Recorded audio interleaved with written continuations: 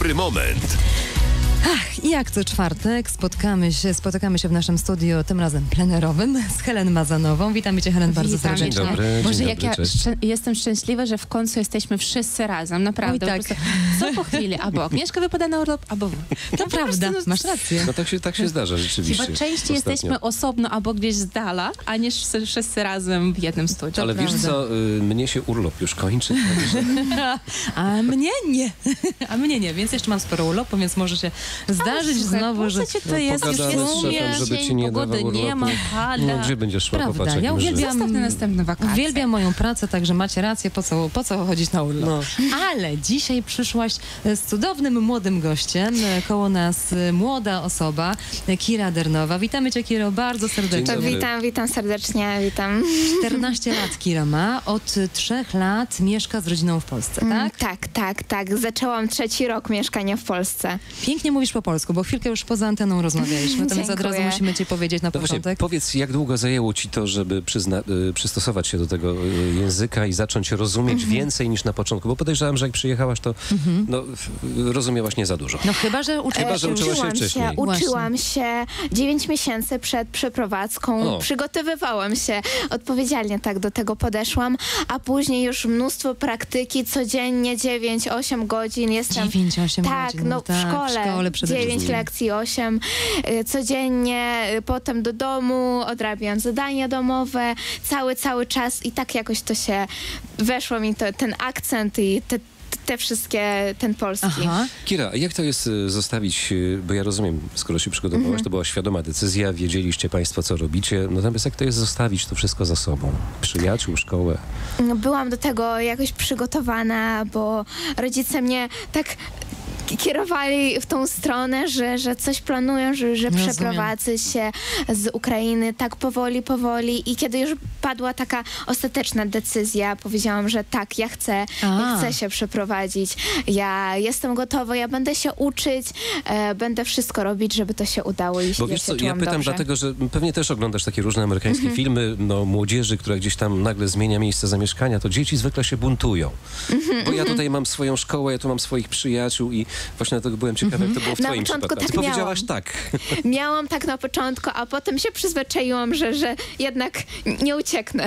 No tak, ale to, ta, to takie przyzwyczajenie też do myśli, do tej zmiany, myślę, Tak. że było ważne, prawda? Tak, Przygotowanie rodziców. Tutaj spoglądamy, spoglądamy poza kadr niejako, bo jest tutaj z tobą e, twoja, e, twoja mama. Inaczej jest w chwili, gdy się przeprowadza cała rodzina e, i tak jak w twoim wypadku. Inaczej, pamiętasz, Wiesiu, byliśmy kiedyś w jednej z miejscowości, teraz nie przypomnę sobie, poza Opolem, gdzie też jest szkoła i gdzie Ja też mam pamięć dobrą, tak. dzieci e, z Ukrainy, tyle tylko, że tamte dzieci mieszkają w Bursie, więc zupełnie inna sytuacja Zupełnie inna w chwili, gdy sytuacja. One zostawiają są same, rodzinę. po prostu rodzina tak jest. zostaje, tak. Więc no pewnie też jest troszeczkę łatwiej. Tak, ja bardzo się cieszę, że jest ze mną rodzina, że ja nie sama się przeprowadziłam, a zawsze, zawsze jest obok tata i mama, którzy w każdej chwili mnie wspierają. A szybko pojawili się nowi przyjaciele tutaj, gdy zaczęłaś tak, bardzo szybko, bardzo szybko. W szkole podstawowej była ogromna ciekawość do mnie, że ja jestem z Ukrainy, że Aha. jestem o, obcokrajowcem, dużo się pytali. Szybko, szybko się zaprzyjaźniłam ze wszystkimi,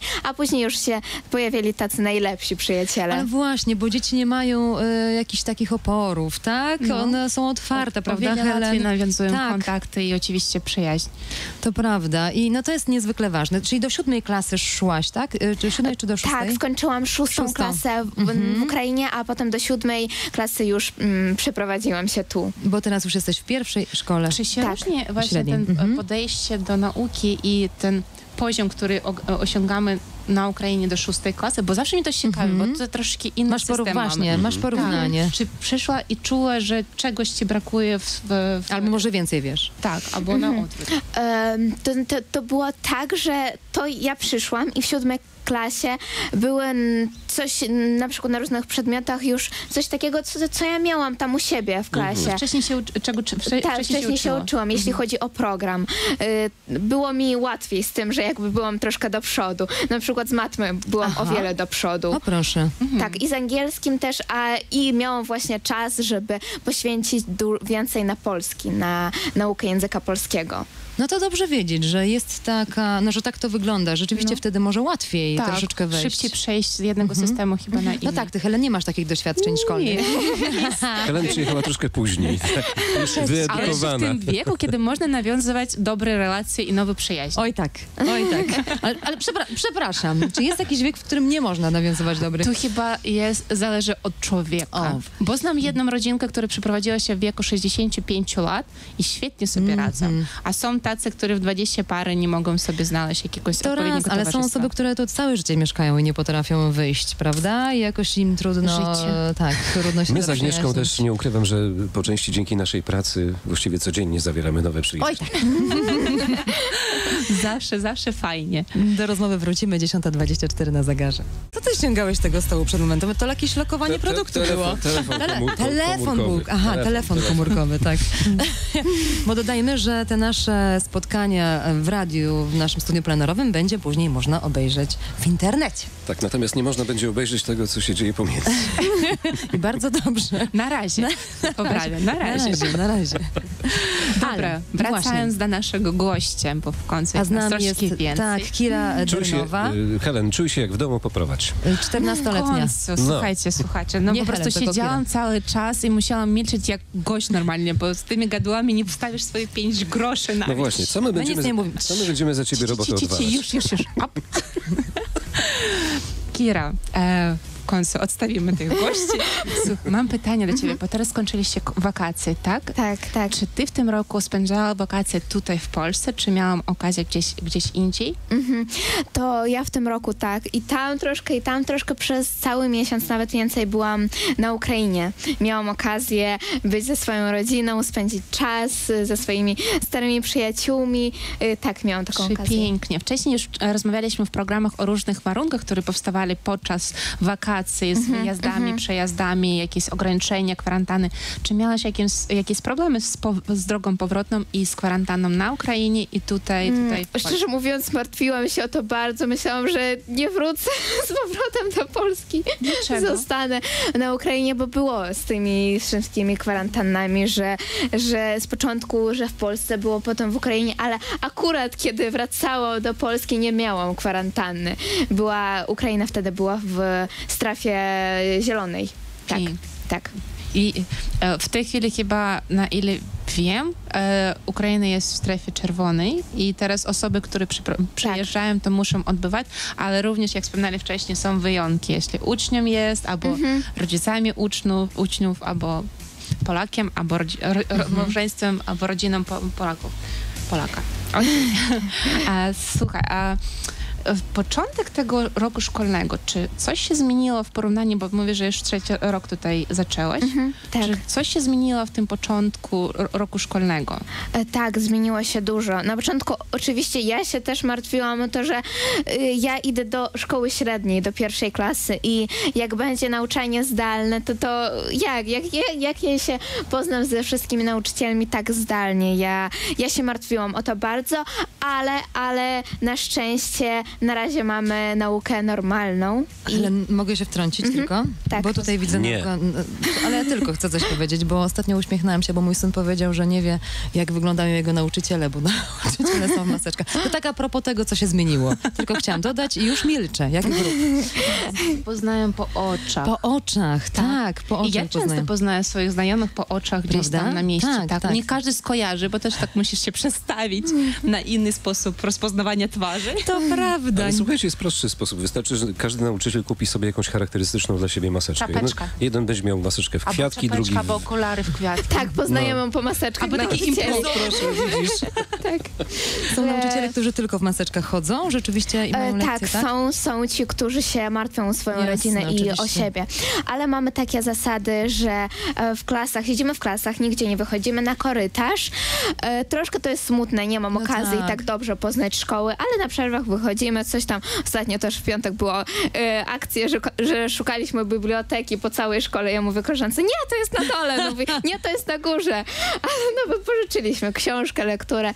jest okej, ale tak, siedzimy w jednej klasie, nauczyciele, większość są w maseczkach, Mm. uczniowie, siedzimy wszyscy razem, siedzimy, nie są jakieś, jakoś ław, e, ławki tam, Nie, nie, nie ma mają. takiego, że tak nie, po- nie, nie, No nie, też nie pewnie ma. za bardzo miejsca w niektórych klasach Tak, nie ma mamy po prostu. Małe sale, Mm. mamy małe sale i nauczyciele powiedzieli, jak chcecie siedzieć w maseczkach, to oczywiście, ale mm, nikt u nas, wszyscy tak, bo to jest niewygodne też. Oczywiście, trudno oddychać. Tak, Mhm. dużo godzin siedzieć w tych maseczkach nie, ale nauczyciele tak, tak chodzą, chodzą dużo. A czy zapowiada się jakaś e, częściowa nauka zdalna z czasem, czy coś takiego już? Mm, na razie nie, ale pan dyrektor powiedział, że e, jak będą przypadki zakażenia, to częściowo klasy będą e, na nauczaniu zdalnym, ale to nie więcej niż dwa tygodnie. Na razie w naszej szkole na, na, na szczęście nie mamy żadnych przypadków koronawirusa. E, wszystko jest w porządku, niedużo osób choruje u nas w klasie e, i nawet mamy, nie mamy tego hybrydnego nauczania. Hyb, no, Hybrydowego. hybrydowe, hybrydowego. Dziękuję i już wracamy za chwilę do Oj, Państwa. tak. Lara Fabian, I Will Love Again, to był tytuł tego nagrania. No i proszę bardzo, Helen, ty nie tańcz, ty prowadź audycję. Halo, co tu się się, dzieje? zachowuj się. Ale nie, tego nie widać w radio. O, tak to jest. Niczego nie No, widać. w jeszcze wejście po, po przerwie nie ogarnia. Pożegnanie na przerwę. Ale tego się nauczę, Ale obiecuję. jesteś bardzo blisko już. Wracając do naszego gościa, do Kiry.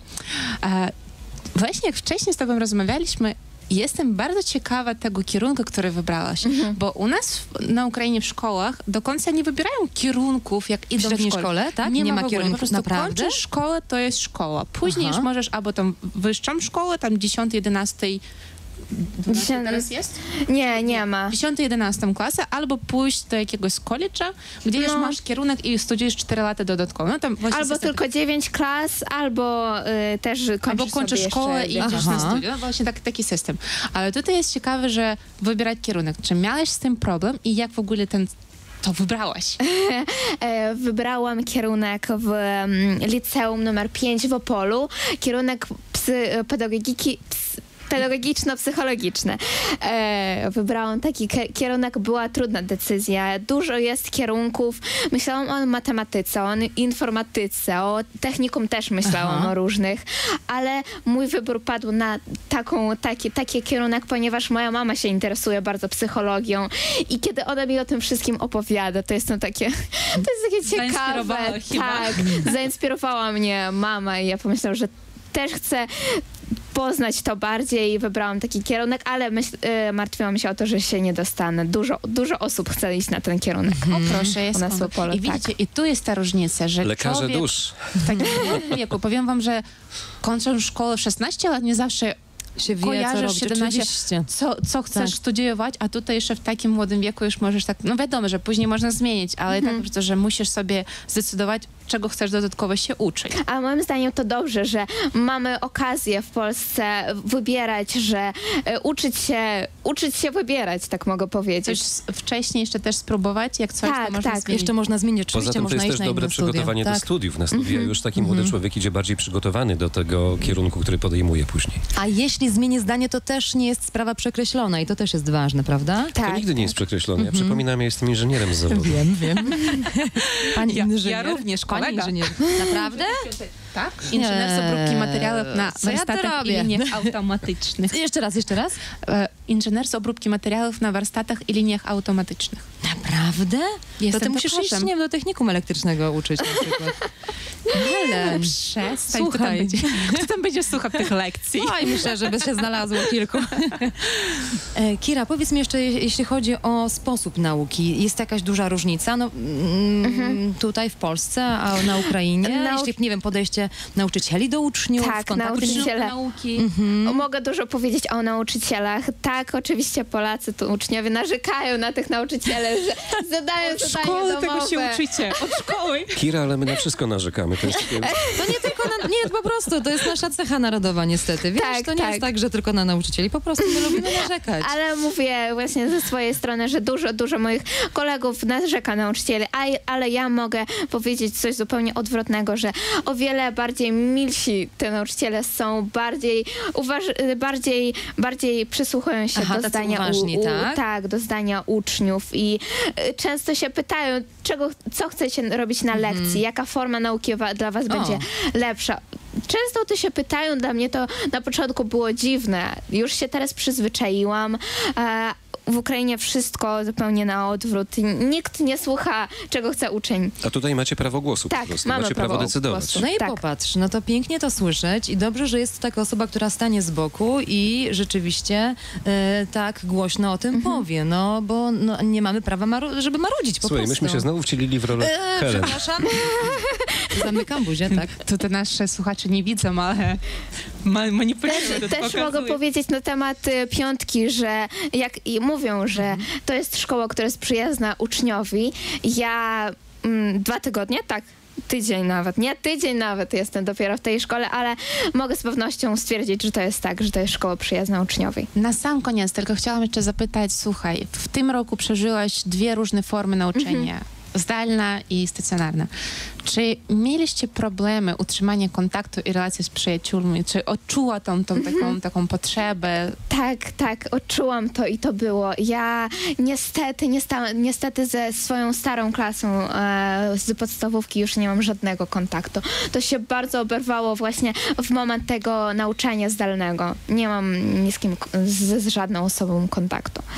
No niestety, ale, ale ja zawsze jestem, mam takie zdanie, jak ktoś odchodzi, e, jakaś osoba, w sensie nie odchodzi, ale że, że e, obrywa się mi Urywają kontakt się z kimś, kontakty. tak, To przyjść- to, przyjść. to ktoś inny przyjdzie. Na to mamy powiedzenie, że święte miejsce puste nie bywa, święte miejsce puste nie będzie.